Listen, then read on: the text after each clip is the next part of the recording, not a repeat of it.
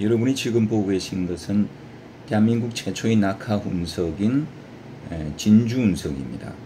그 진주 운석을 에메랄드 커팅을 해서 광을 입힌 것인데 정말 멋있게 커팅이 됐습니다.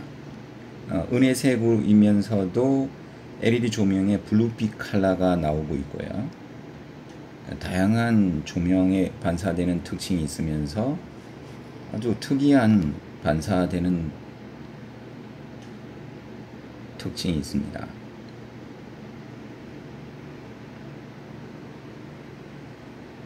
자, 정말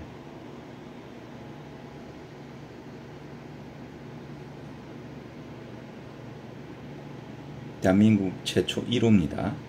진주운석의 에메랄드 커팅 이것을 반지로 하는 큰 영예를 얻어서 감사하게 생각합니다.